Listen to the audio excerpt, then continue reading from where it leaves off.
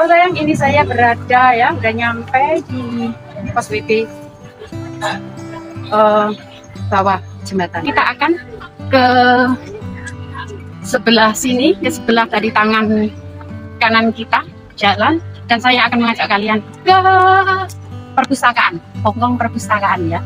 Di itu terlihat at Hisoa. Nah ini Victoria Pak Lapangan dan kita akan jalan ke sana ke seberang jalan. Di sini akan terlihat dari jembatan sana itu ya uh, akan perpustakaan Hongkong. Itu ini dalam keadaan atau masih dalam suasana pagi jadi nggak begitu banyak teman-teman kita yang memenuhi Victoria Park.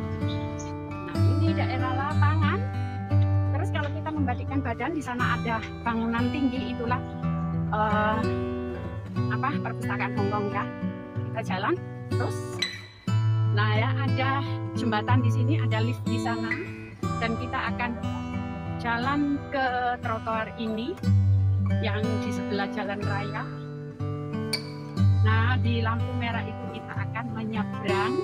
Dan di seberang jalan itulah nah inilah bangunan dari uh, perpustakaan ya perpustakaan Hongkong Hongkong Library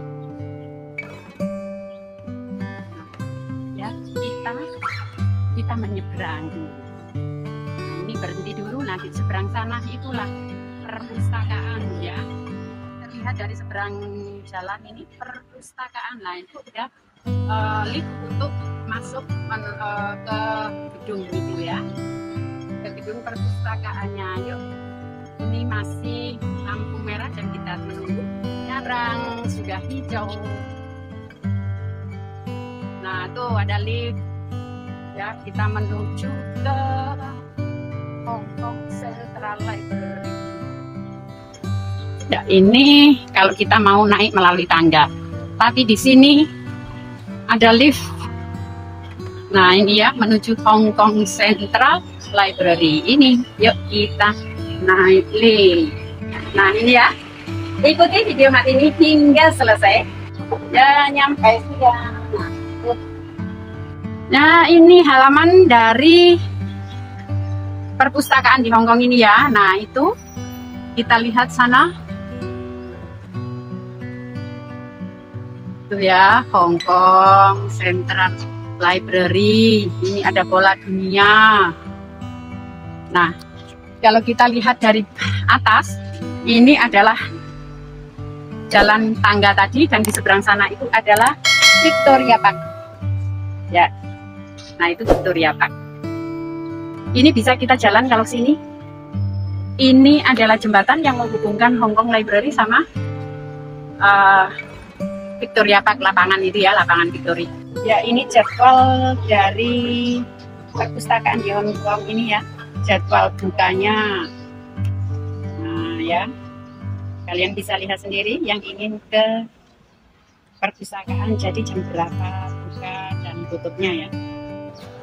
Oh ya sayang, tapi sebelum kita masuk, saya akan mengajak kalian untuk jalan ke belakang daripada, yaitu bagian belakang dari eh, perpustakaan ini.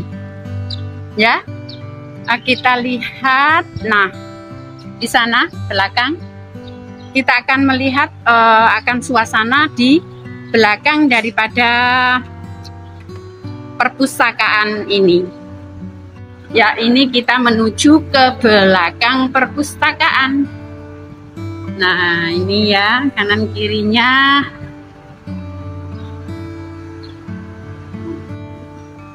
Nah, ini di bagian belakang. Kalau kalian ingin lebih enjoy, bisa juga di sini dimanfaatkan untuk sekedar melepas lelah. Nah, ini juga ada bagian dari teman-teman kita yang di sini ya. Karena ini masih pagi jadi nggak begitu ramai nah baik. Kita kembali ke depan dan akan masuk ke perpustakaan bagaimana suasana di dalam ya. Nah ini suasana halaman dari perpustakaannya. Dan kalau kita akan masuk ternyata kita harus buy toy ngantri nggak usah uang ya. Bukanya hari biasa itu jam 10 ya. Yuk ini saya juga mau ngantri. Lah itu ya. Nah udara sudah mulai dingin ini ya. Saya toy ngantri mau masuk ke Tosikun perpustakaan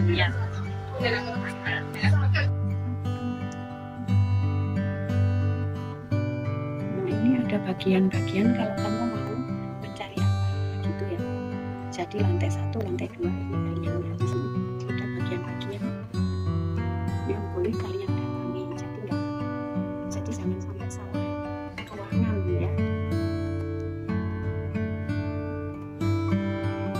Ya ini sayang ya. Mak ini baru saja keluar dari eh, perpustakaan Hongkong ternyata di sana tidak boleh memfoto atau di dalam ya tidak boleh memfoto terus bikin video. Jadi ini tadi Matini sedang melihat-lihat ya. Di sana ada hingga kalau nggak salah 10 lantai. Di situ ada tertulis bagian-bagian tersendiri. Jadi lantai satu untuk apa, lantai dua misalnya untuk anak-anak begitu. Jadi kalau kalian tujuannya ke dosikun ini atau perpustakaan ini untuk mencari bahan, misalnya untuk belajar bahasa atau majalah-majalah, lah itu itu harus melihat jadwal di situ. Ada tertulis di sana ya pemberitahuannya. Lantai satu untuk apa lantai dua untuk apa. Jadi Mak ini tidak banyak menginformasikan uh, tentang keadaan di dalamnya atau bikin jadi uh, Mak ini hanya bisa membagikan informasi mungkin berguna bagi kalian. Dan kalau kalian uh, datang di atas jam 10 itu tidak usah baitoy, tidak usah antri. Tetapi kalau kamu nanti uh, datangnya jam uh, kurang dari jam 10 berarti kan harus buy toy karena menunggu uh, perpustakaan ini buka ya. Jadi terima kasih kalian yang sudah menonton video Martini ini hingga selesai. Semoga apa yang Martini sampaikan bisa sedikit banyak membantu kalian mengenai informasi mengenai Hong Kong uh, Library yang letaknya di sekitar area Kos BB yaitu sebelah dari seberang jalan Taman Victoria Park. Nah, di sini kalian bisa me mengasah banyak informasi melalui buku-buku yang disediakan. Baiklah sayang, terima kasih uh, sudah menonton dan mengikuti video Matini ini hingga selesai. Terima kasih buat supportnya. Demikian juga kalian yang belum mensupport, saya tunggu support kalian melalui like, subscribe, serta komennya ya. Dan Matini pamit dan undur dari sini dan akan melanjutkan uh, waktu liburan saya dan happy Sunday. Sehat selalu buat kalian dan sampai jumpa. Bye bye.